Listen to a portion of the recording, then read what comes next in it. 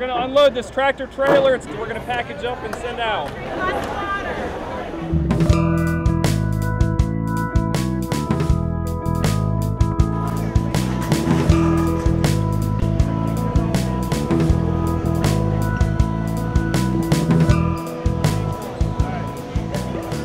My job is to put the unopened vitamin packet into the bag, and then I hand the bag to the funnel captain. I hold the bag tightly under the funnel while the rest of the stations put their ingredients into the bag. I take a full scoop of dehydrated vegetables and place it in the bag. My job is to pour a full cup of protein into the bag. My job is to add a full cup of rice, which is the last ingredient to go into the bag.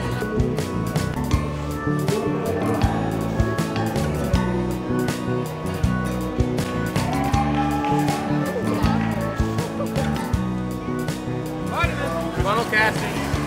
Vegetables, Protein, rice, Vitamin. Funnel captain. vegetables. protein, rice.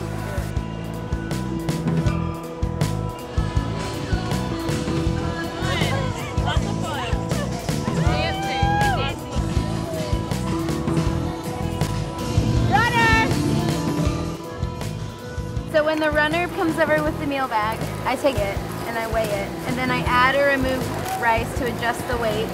I put it in the sealer bin and slide it over to the sealer.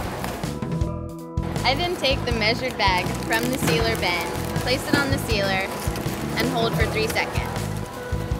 I then check to make sure that the bag has been fully sealed.